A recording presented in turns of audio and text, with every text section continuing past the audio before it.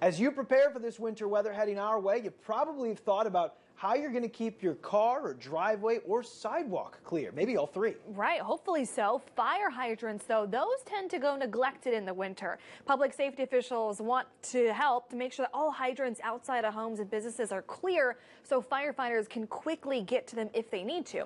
ABC 17's Erica McGuire is live for us tonight to remind us what we can do to keep a hydrant near you clear. Erica.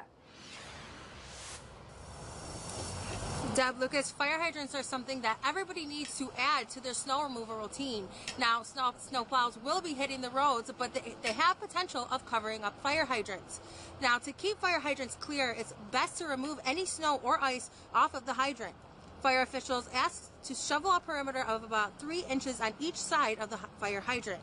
Officials also tell me it's important to make a clear path from the fire hydrant to the street so they have a clear path to get to the fire hydrant when there is an emergency.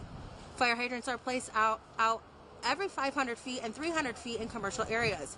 If firefighters can't get to one, they can go to the next available hydrant. Although the Boone County Fire Department has tankers that allows them to bring water with them, it still remains important to have easy access to fire hydrants.